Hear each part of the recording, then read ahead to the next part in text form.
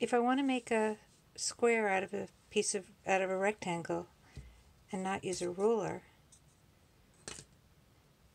there's a very nice way to do it.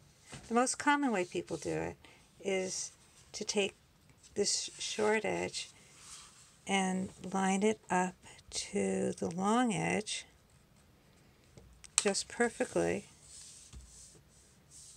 And then you cut along this line, and when you open it up, you've got a square. But what if you want a square that isn't this big, but it's, say, this big?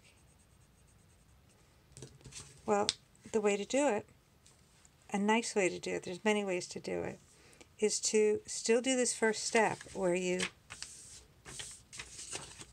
basically what you're doing is you're dividing this angle in half. And you see that square, and you have a line here.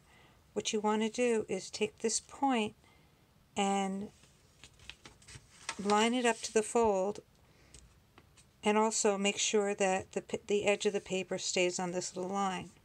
Now there's a little problem here which is it begins to be hard to see the line so just turn the paper around so you're bringing the paper towards you and then there's no problem seeing that line. So the edge is on the line, the point is here.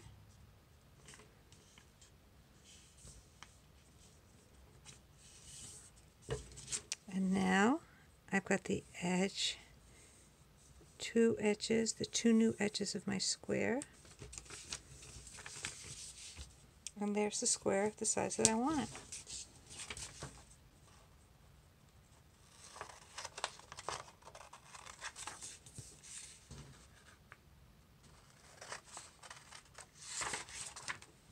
tará.